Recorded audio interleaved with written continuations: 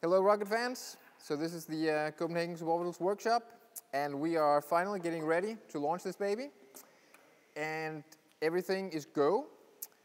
We have uh, all systems go.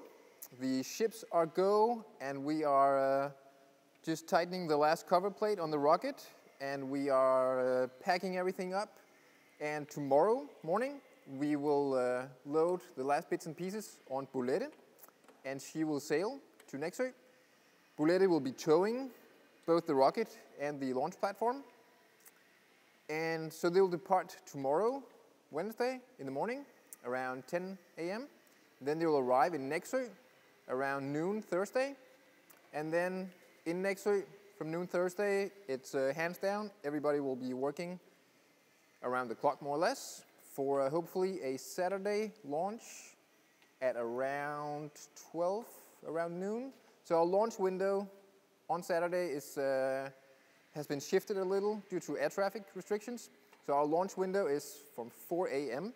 to 1 p.m. So we have to get up a little bit early. So we intend to launch 11 or noonish on Saturday. So that is if, uh, if weather permits, otherwise we have Sunday as a backup day.